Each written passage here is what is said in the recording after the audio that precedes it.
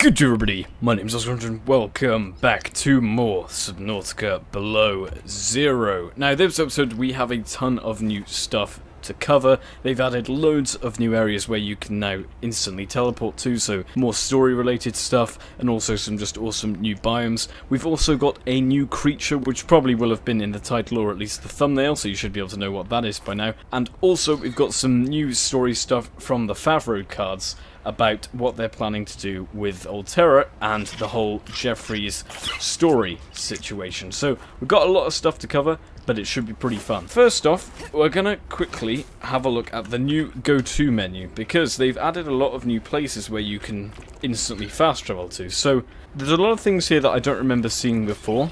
So that's interesting to see, but the main ones that we're going to look at today are the ones to do with the glacial basin. Um, and this is a new biome which I think is where the Snowstalkers are mainly going to be based. I'm not sure if they're going to be based in these sort of areas with lots of ice. I'm not, I'm not sure how they're going to work because I'm assuming they're going to prey on penguins. Um, assuming that's going to be their main sort of dinner, um, but who knows. So, we're going to go to them, and there's also some new stuff to do with the story, so this really isn't an episode you want to be watching if you don't want story spoilers, because it's going to be based around a story almost entirely. First place we're going to go to is the Glacial Basin as a whole. This seems like a whole new biome by itself. Um, I haven't been here yet, so I don't know what this is. Obviously, it's not finished. Well, I don't know what this is, but we've not seen this before. This is a heat fruit, apparently. Pick up none. This is a heat fruit. I'm not sure what a heat fruit is. I'm assuming it's a fruit that you can eat. Oh, it looks like a chili or something. I'm assuming it's a fruit you can eat when you're really cold and it heats you up. This is a lantern fruit, which we've seen from the original game. Obviously, not sure if they're going to keep these in. These are clearly just sort of placeholders. So this is potentially where you'll have to come to unlock the hoverbike. There are three fragments here at the moment. They might reduce the amount that you get in the full game. These are some new um, I don't know, I'm assuming they're flora. They're sort of a mixture of flora and just really cold snow or ice, I suppose. They look really awesome. So we'll head on up here and have a look what is going on with these lights. That looks like a radio tower or something, but it is currently matte black, so I'm assuming that's going to change. There seems to be like a collection of spotlights here. Um, yep, they are spotlights, and they're all grouped together for no reason at all, just rotating, creating a sort of disco. Apparently this is going to be Jeffrey's bunker. Oh, okay, so there is actually a base in here. I didn't know that. This looks like it's the hover bike base. Yep, so this is where you're going to come if you want to unlock the hover bike fragment, base fragment. This is an unfinished room with no walls or ceilings. Okay, those stairs don't work. Do these ones? No, they don't. So this looks like this is the place where Jeffries is going to be staying in this sort of bunker thing. At least that's the impression I'm getting, um, and what's been said on my Discord server. By the way, if you are not in my Discord server, you really are missing out. Lots of the stuff in this video today has been reported on there exclusively, haven't seen it anywhere else, and in fact the news about the Snowstalker was revealed before the developers even commented on it, so that is how fast they are in there, so it's really worth looking at. Oh, okay. Yep, fell through that, that's not ready, and it looks like Oh, there's a legitimate bridge. Obviously unfinished because you can see through it. Is it a physical object? Wow, it is. So this is a bridge that connects two bits of the glacier together. Seems to be how it is. I wonder what it will be on the other side once this is all finished. It's all very interesting because Alterra have clearly been here and worked out for this stuff by themselves and decided that they need to build bridges and stuff here. And clearly Jeffries or whoever decided that they needed to build a bunker in the side of that. So it's awesome looking. Obviously it needs finishing, but it's really not looking bad at all. Then we have go to Frozen Creature. I'm assuming this will still be the placeholder um, skeleton from Subnautica 1. But this looks like it potentially will be the location of the frozen creature. Um, which I'm hoping is going to be a really awesome looking Leviathan that maybe that we can't see alive in the game. Like I, I feel like it would be a bit of a letdown if it was just a frozen squid shark or something, or a frozen. Um, oh, there it is actually. That made me jump a little bit. So yeah, it's still the placeholder from Subnautica, but in the future they will change this to a new creature. Hopefully a really awesome creature that we won't be able to see elsewhere in the game. There's also this, which is apparently a spy penguin test. I think it means that little hole there. But either way, it looks like they're setting up some sort of obstacle course for you to try out your spy penguin on. Um, which is cool because obviously one of the main reasons for the spy penguin existing is that it can go into small gaps and spaces like this. Okay, so we'll head back to the glacial basin and we'll have a look at the Snow Stalker, which is the newest addition to the Subnautica Below Zero fauna gallery. Um, I haven't seen this in game yet. I've seen a lot of screenshots on my Discord server, but other than that, I have not seen its animations or any footage of it whatsoever. So, let's have a look at this thing and see how it looks. Oh, wow. that looks amazing. I, I, don't know how I expected it to look, honestly, but to be to be fair, I was slightly worried about the animations and stuff because obviously their main experience had been with underwater creatures, and I wasn't sure how they would manage a, a, a land creature. But they've done a really good job with the animations. They look fantastic. Obviously, they were going to do a good job because it's the Subnautica team, but even still, it looks incredible. It has glowing blue, sort of...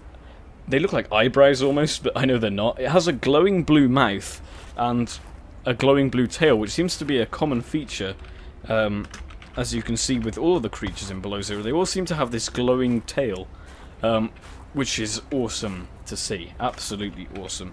It doesn't seem to be trying to take bites out of me, but I really... I mean, how can we tell, to be honest? But yeah, the, the colour scheme on him is absolutely awesome. Put it in daytime so we can actually see him. The fur looks incredible, and the animations in general look awesome. I'm just going to be evil for a second, and slash it with a knife and see if it responds. Um, no response at all. Uh, so currently they have no flinches or anything like that. Oh! But you can kill them. And when you kill them, they ascend diagonally to heaven. Interesting. Um, was obviously not finished. Wow, they really do look awesome. They're going to look amazing if they're in herds and some and stuff like that. I wonder if they'll be herd-based or like um, sort of lone wolves. They seem to be different sizes as well. Like I'm pretty sure that one is smaller than that one. I can't tell for definite, but I think that's how they are.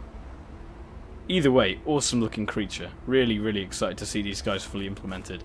Obviously they're not not naturally spawning just yet, but can't wait for them to be. Now, also according to my Discord server, they can actually swim underwater. So for that, we're going to go to the shallow twisty bridges because I feel like that's going to be one of the best places to really showcase their swimming abilities. Um, from the beginning I've always hoped they sort of swim like dogs with the doggy paddle.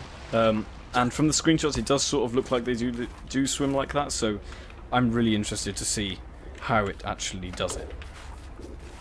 So, it does actually look at home here. Um, I thought it might not, but it turns out it probably does. I think it might be interested in me. I can't tell if the AI is... Yeah, I think it's trying to follow me, but I'm really not sure. But yeah, let's, let's spawn one underwater, because I'm really interested to see how they work. Oh, they do doggy paddle. That's amazing. Wow, they're so cool.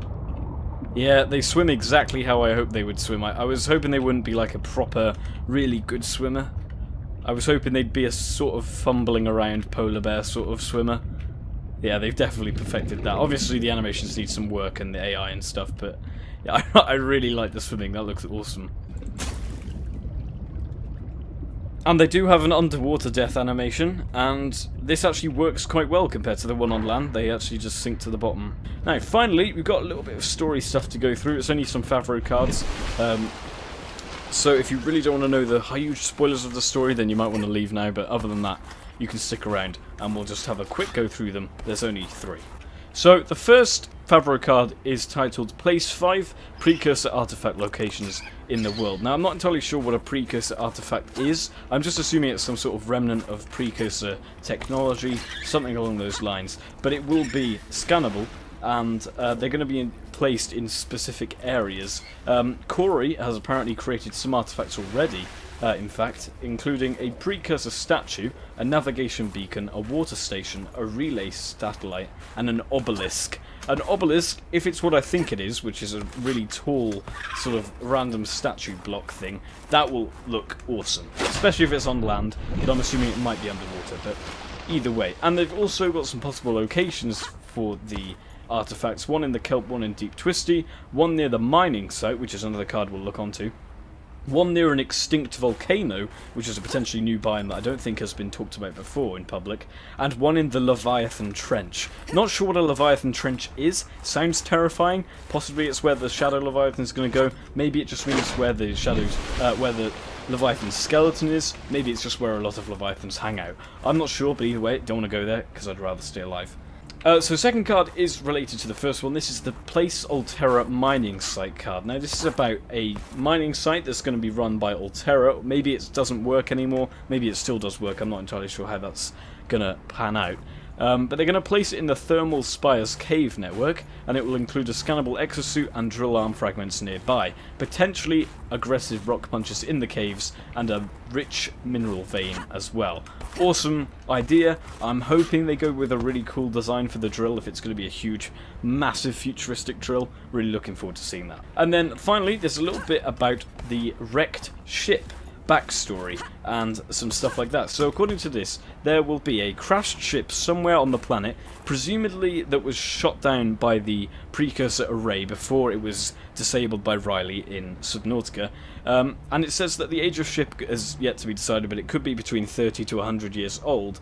And it's enough to for the wreck to be overgrown with vegetation, so it will be a really awesome looking thing. Won't just be a broken up ship, it will actually almost be part of the environment now, because that's how the planet works. Um, obviously, it says reason for ship being wrecked is still to be decided. I'm assuming they'll go with the precursor array shot it down, but who who knows. And also there's going to be a possible tie to Jeffries and his saboteur storyline, which is an interesting storyline. Don't know a lot about Jeffries personally, but if you do know anything about Jeffries that you think I might find interesting, or other commenters, then do let me know. But that is pretty much everything we have to cover about Below Zero for today. Hopefully you enjoyed the video.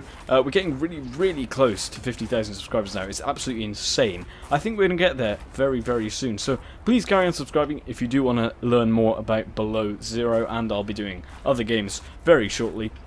Yeah, so basically, that's all I've got, and I'm going to leave it here. So if you enjoyed the video, please give it a like if you're feeling really, really generous. Subscribe to Crunchy David. Until next one, I'll see you guys in the next one. Ta my friends.